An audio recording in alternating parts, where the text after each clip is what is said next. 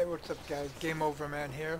And I'm going to show you two quick ways on how you can auto run in Albion Online. The first one is real simple, no software is needed. Just left click and then Alt Tab while you're still left click. Then click back on it and you are automatically auto running but if you open up the map or anything it'll stop. So if you ever need to just auto run, hold down left click, go to your desktop by alt tabbing, then alt tab back in, and you'll be going wherever you need to go. The second way to do it, you're going to need to have a macro.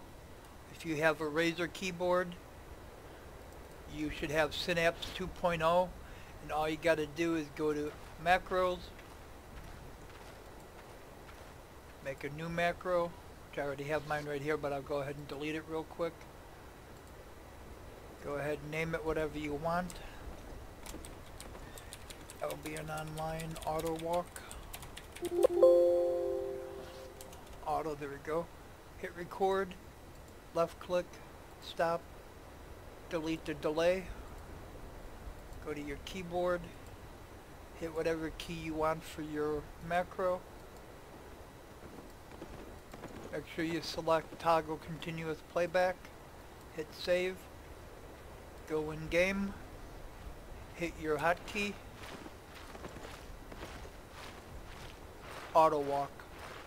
Those are two ways to auto walk in Albion Online. Hope it helps.